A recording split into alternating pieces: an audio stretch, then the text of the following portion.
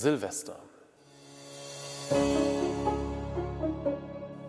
Ich habe ja nicht schlecht gestaunt, als diese kleinen Kinder plötzlich neben mir anfingen zu hüpfen. Damals an Silvester auf den Philippinen in einem kleinen Dorf La Fortuna in der Nähe von Butuan City. Warum hüpfen die, habe ich gefragt und kriegte auch prompt eine Antwort. Naja, bei uns in der Tradition ist es so, dass man sich das, was man sich wünscht, tut am Silvesterabend. Und die Kinder wollten eben größer werden. Silvester, das ist eigentlich ein Tag wie jeder andere. Nichts großartig müsste eigentlich passieren, denn am nächsten Tag geht doch alles seinen normalen Gang.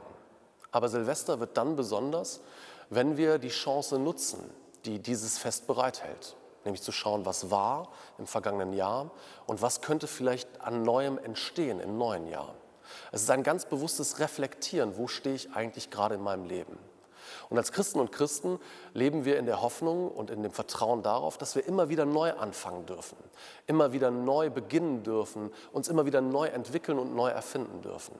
Von daher ist für uns Christinnen und Christen Silvester auch ein wichtiges Fest. Es ist Abschied nehmen, aber eben auch die Chance, nochmal komplett neu zu beginnen. Wo möchtest du neu beginnen nächstes Jahr? Was hast du dir vorgenommen? Was möchtest du weiter pflegen und was möchtest du vielleicht auch abgeben? Das könnten Gedanken sein, die du dir an diesem Abend stellst. Und ob du dann hüpfst oder ob du dann plötzlich Geld herumwirfst, weil du etwas mehr davon haben möchtest, das sei dir ganz alleine überlassen. Frohes neues Jahr.